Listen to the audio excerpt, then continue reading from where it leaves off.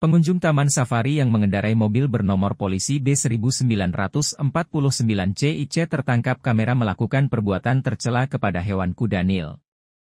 Unggahan tersebut viral di media sosial dan membuat geram netizen. Terlihat pelaku mempermainkan kuda Nil dengan seolah mau memberi makan, padahal yang dia beri plastik ke dalam mulut hewan tersebut. Pihak pengelola Taman Safari buka suara atas video yang viral.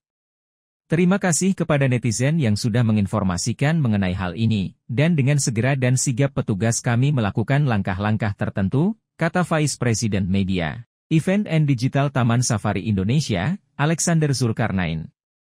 Dia mengungkapkan peristiwa itu terjadi pada Kamis 20 Juni. Dia mengatakan saat itu petugas juga sigap mengeluarkan kantung plastik dari mulut kuda Nil. Kondisi kuda Nil saat ini disebut sehat berkat penanganan dari petugas kesehatan hewan di Taman Safari Bogor.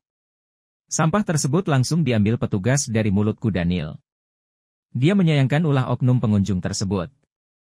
Saat ini manajemen Taman Safari, lanjut dia, sedang menyusun langkah selanjutnya agar kejadian tak terulang di waktu mendatang. Kami sedang mengumpulkan data fakta di lapangan dan juga kronologinya, Nanti juga kami akan keluarkan statement resmi sehingga tidak hanya mengambil dari satu sisi saja, ungkap Alexander.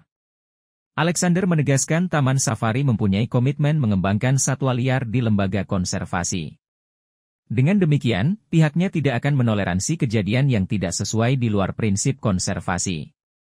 Kami juga mengimbau kepada pengunjung untuk menerapkan peraturan sesuai SOP yang kami miliki sehingga kenyamanan, keamanan, dan keselamatan satwa sejalan dengan kebahagiaan pengunjung yang datang ke lokasi kami yang tersebar di berbagai tempat, ucapnya.